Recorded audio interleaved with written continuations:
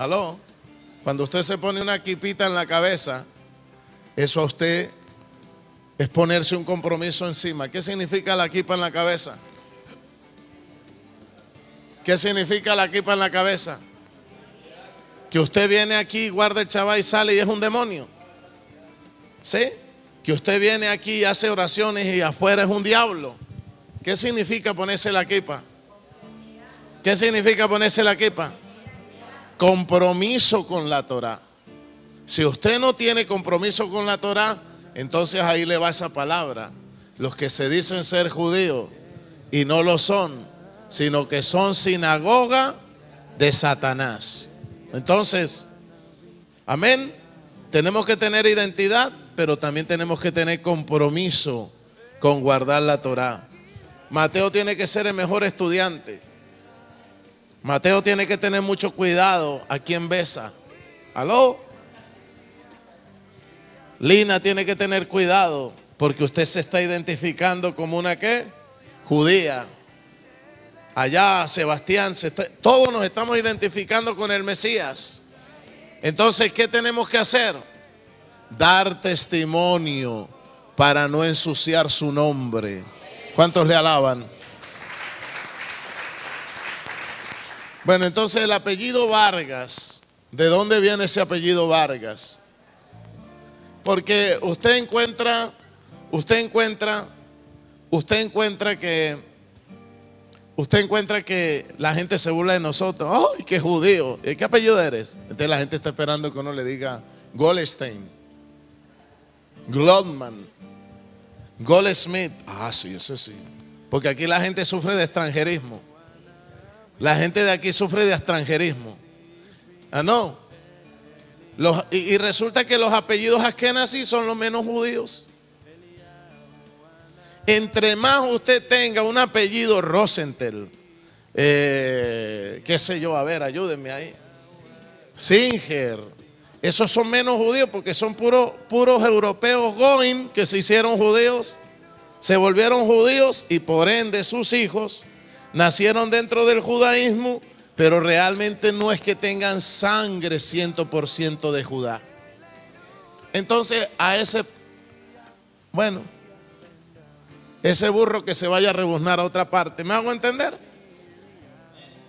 En cambio, apellido Suárez. ¿Quién podrá ser un Suárez? Alguien por ahí de Atalaya. Yo soy Suárez. No. Y resulta que Suárez, ¿qué significa Suá? Suá salvación Suárez salvación y eres tierra de Israel. O sea que Suárez, ¿qué significa? ¿Qué significa? La tierra de Israel. ¿Qué significa Singer? Nada. ¿Qué significa Golesmith? Oro laminado, qué sé yo, oro así, Gold Smith. ¿Me hago entender? Weisman, ¿qué significa? Celador, ¿qué quiere decir Washiman? Aló. Pero ¿qué significa Ortiz? ¿Cuántos son Ortiz? Or, lámpara, luz. Es, eres, Israel. Esos apellidos tienen más resonancia, son más genuinos y son más menospreciados porque están en Latinoamérica. Y como estamos en medio del basurero, en un, en un, en una, en el cono que es el basurero, ¿no? Entre comillas, que es donde está la cultura tercermundista, pues este desgraciado que va a ser judío. ¿Me hago entender? Porque Suárez, Ortiz, Ramírez es el que maneja la carreta, el que vende papas en la cesta, ese que va a ser judío. Pues sí, tiene razón, no es judío, porque se crió dentro del catolicismo, tiene diablos, tiene maldiciones, tiene demonios, pero tiene el apellido de, la, de, los hijos de Sefarat que están en América Latina. ¿Cuántos le alaban?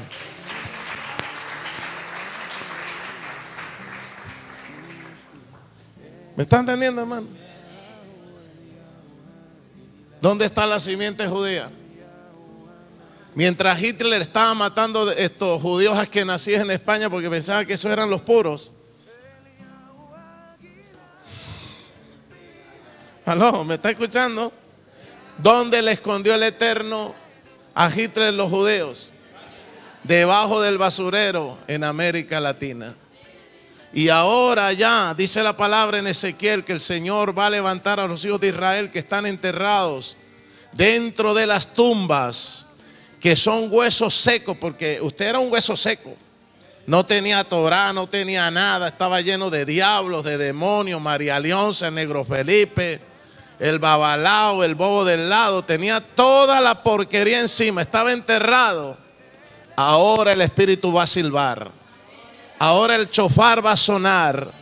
Y ahora el Espíritu Santo proféticamente dice Ezequiel que viene una palabra y todos los que están enterrados empiezan a despertar. Y esos huesos empiezan a tomar carne y se empiezan a levantar. Y después que se levantan empiezan a tomar forma y se transforman en un gran ejército.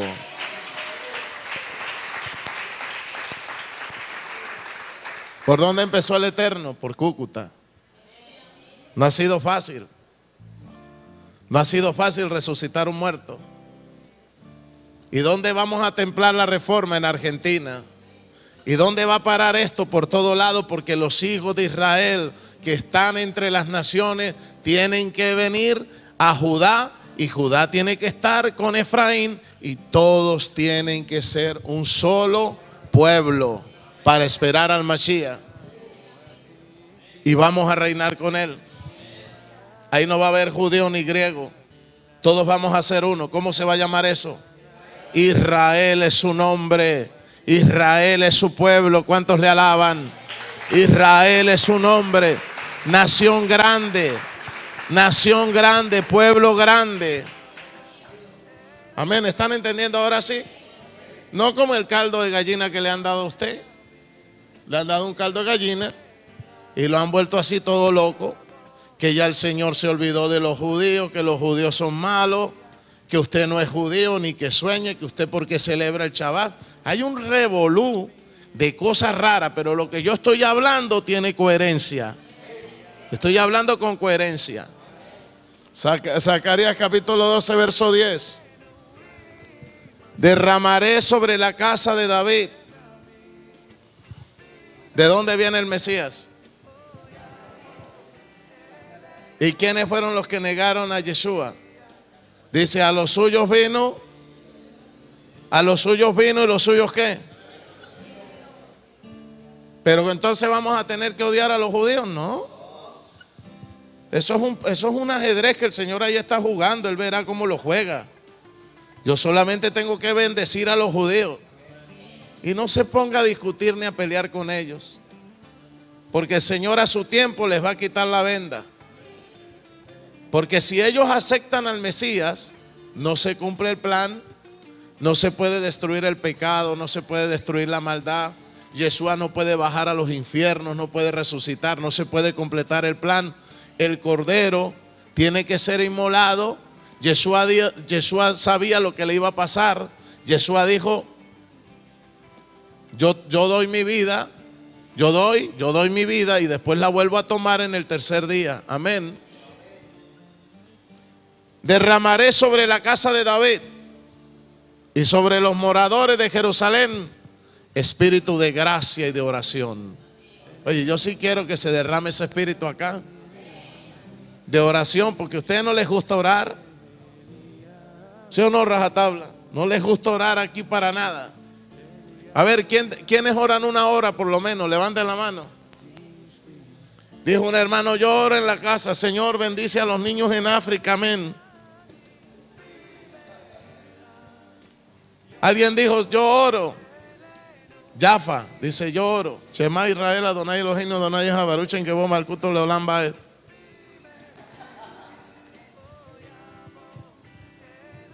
Yo sí quiero que se derrame sobre esta casa un espíritu de gracia y de oración.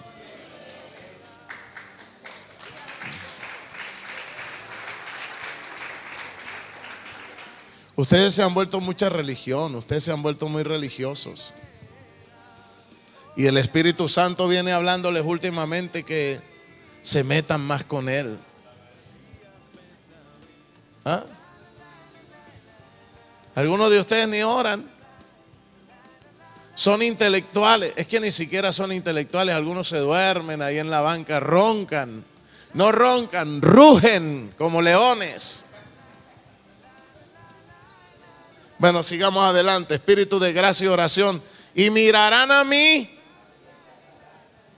a quien traspasaron. ¿Cuántos aplauden el nombre del Eterno? ¿Y por qué dice y mirarán a mí como que traspasaron? Porque el mismo Yeshua es el mismo Elohim. ¿Estás entendiendo? Y mirarán a mí a quien traspasaron. ¿Quién fue el que traspasó? Y llorarán como se llora por hijo unigénito.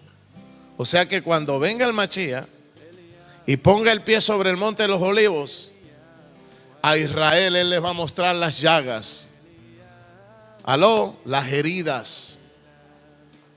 Y dice la palabra que llorarán, se afligirán y dirán, wow, realmente era el Hijo del Eterno y nunca lo habíamos reconocido. ¿Cuántos le adoran?